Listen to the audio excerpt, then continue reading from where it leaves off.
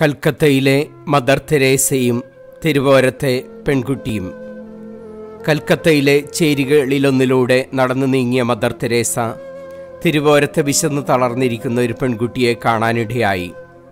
മനസ്സലിവ് തോന്നിയ മദർ തന്റെ തുണിസഞ്ചിയിൽ നിന്ന് ഒരു അപ്പം എടുത്ത് പെൺകുട്ടിയുടെ നേർക്ക് നീട്ടി. തന്റെ നേർക്ക് നീട്ടപ്പെട്ട അപ്പക്കഷ്ണം ആർത്തിയോടെ കടന്നെടുത്ത പെൺകുട്ടി ഒരു കടി കടിച്ചു. പിന്നീട് ശേഷിച്ച അപ്പം അവൾ തന്റെ മാറാപ്പിൽ ഒളിപ്പിച്ചു.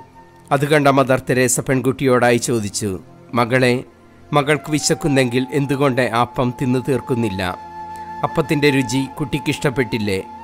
മറുപടിയായി പെൺകുട്ടി പറഞ്ഞു അമ്മേ എനിക്ക് നല്ല പോലെ വിശക്കുന്നുണ്ട്. അമ്മ തന്ന അപ്പം എനിക്ക് നന്നേ ഇഷ്ടപ്പെടുകയും ചെയ്തു. എന്നാൽ ഇത്ര രുചികരമായ അപ്പം പെട്ടെന്ന് അങ്ങ് തിന്നു തീർക്കാൻ ഞാൻ ആഗ്രഹിക്കുന്നില്ല.